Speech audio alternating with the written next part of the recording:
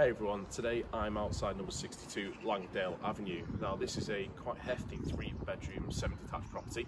Uh, it's just a few minutes walk from Levenshulme train station. It's come on the market with Sanderson James with a guide price of £280,000.